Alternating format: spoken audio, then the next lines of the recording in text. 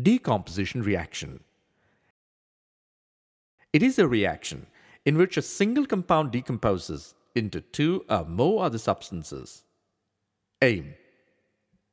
To observe the color of the ferrous sulfate crystal after heating. Requirement.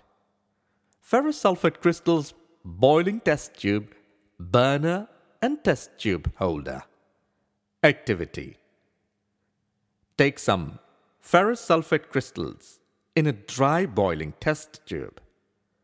Note the green color of the ferrous sulfate crystals. Heat the boiling tube over the flame of a burner and observe the color of the crystals after heating. We can observe the color of the ferrous sulfate crystals is changed and the characteristic odor of burning sulfur is observed. 2FeSO4 gives rise to Fe2O3 plus SO2 plus SO3. In this reaction, ferrous sulfate crystals FeSO4 7H2O lose water when heated and the color of the crystals changes.